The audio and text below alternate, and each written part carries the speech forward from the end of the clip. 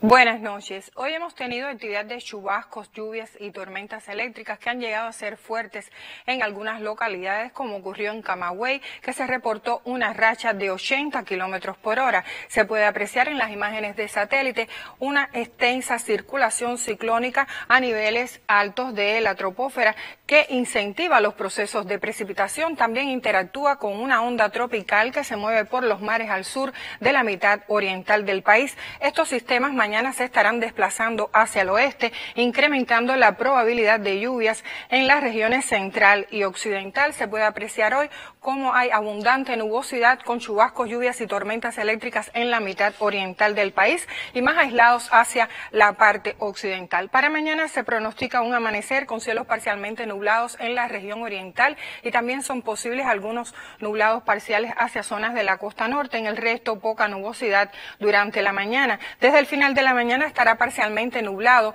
y se nublará en las regiones central y occidental con algunos chubascos, lluvias y tormentas eléctricas que serán más aislados en el oriente del país. En cuanto a las temperaturas mínimas en esta próxima madrugada tendrán valores de 23 y hasta 25 grados Celsius. Pueden ser superiores en localidades costeras e inferiores en algunas localidades del interior y el día será nuevamente cálido con temperaturas máximas en la tarde de 32 y hasta 35 5 grados Celsius pueden haber valores superiores hacia zonas del interior. Los vientos serán variables débiles, excepto en zonas de la costa norte oriental, donde soplarán entre el nordeste y el este con velocidades entre 10 y 25 kilómetros por hora.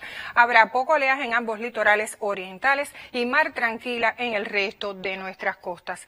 Para los próximos tres días se mantienen las condiciones favorables para la ocurrencia de chubascos, lluvias y tormentas eléctricas en horas de la tarde y hasta horas de la noche y las temperaturas extremas se mantendrán elevadas y con poca variación, máximas de 33 y hasta 34 y 35 grados Celsius. Esto es todo en cuanto al tiempo, que tengan un feliz día y hasta